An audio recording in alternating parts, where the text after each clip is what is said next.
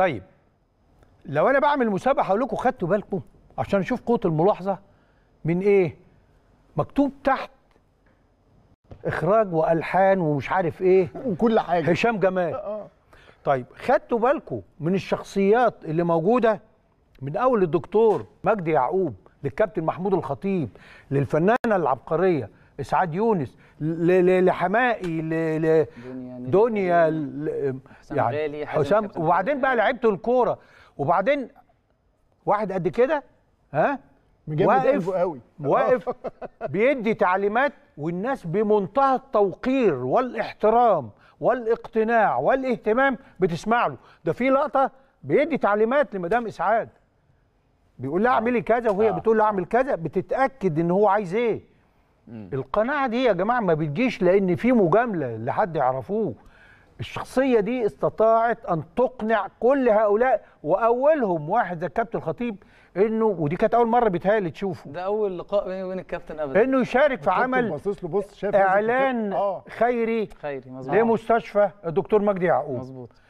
إيه بقى حدثني على ال... ال- الإعلان ده كان سنة 2016 كنت بعمله بشراكة ما بين ونيلي ونيلي آه كل كلهم وكلهم طبعا طبعا ولا توجيهات ولا حاجة هم كلهم أه- أهم مني وأقدم مني وكلهم يعني ناس أنا أنا مبسوط في وإن أنا مجالك اشتغلت آه إن آه. أنا اشتغلت معاهم يعني حاجة أكيد تضيف لي. ساعتها كنا بنعمل حملة لدكتور مجدي يعقوب وأنا كان عندي فكرة إن أنا نفسي نعمل إعلانات خيرية. ساعتها ما كانش ده التوجه خالص. إنه نعمل إعلان خيري ما يكونش فيه استعطاف ودموع. وحزن آه،. آه. و... و... و...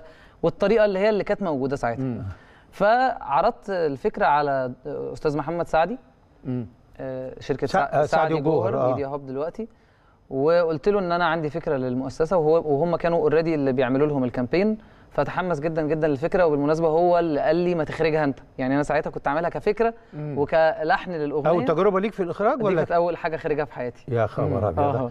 لكن الناس بتؤمن بيك بسهولة وتديك عملية خطيرة. آه، ده آه، إعلان خطير. ف- فأنا قعدت أوصفه له يعني ساعتها قعدت أوصف له الإعلان وأقول له هعمل كذا وفلان يعمل كذا وفلان يعمل كذا. فقلت له بس عايزين نشوف حد يخرجها. فقال لي يا ابني يا ابني أنت ما خرجتها أنت أخرجتها قال لي يا ابني ما أنت. اللي أنت اللي حكيته ده. هو قال لي قلت له بس ما- ما بلاش. قال لي لا اعملها أنت اعملها أنت هتطلع. هتطلع كويسة بدل ما كنت عايز أجيب حد من بره هو ده رزق بقى آه. قناعة الناس بيك آه. أنا رأيي طبعا ده رزق. لله طبعاً. الحمد لله طبعاً. ف فكان عندي طبعا رغبة في, في, في, في اسم زي كابتن محمود الخطيب أستاذ محمد سعدي علاقته كنتش تعرفه ما لسه اعرفوش شخصيا طبعا خالص آه، فأستاذ محمد سعدي هو اللي صديق لي فكلمه وقال له هيكلمك فلان الفلاني هو اللي عامل فكرة الإعلان وهيحكي لك فبعت لي رقمه اتصلت بالكابتن أول مرة قلت له يا كابتن آه، اولا بشكر حضرتك جدا جدا إنه إعلان خيري وحضرتك جاي بدون مقابل. وقال لي أنا معاكم الراجل ده أنا بحترمه وبحترم مؤسسته واللي أنتوا عايزينه أنا هعمله.